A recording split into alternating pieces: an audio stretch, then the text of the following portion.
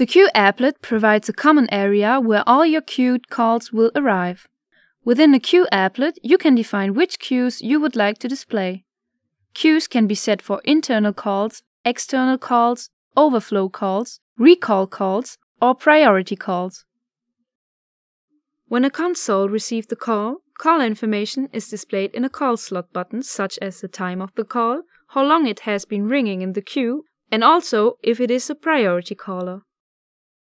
The call slot will be filled in the order that the calls were received. However, the operator has the ability to choose which call they would like to pick up first, simply by pressing on the slot.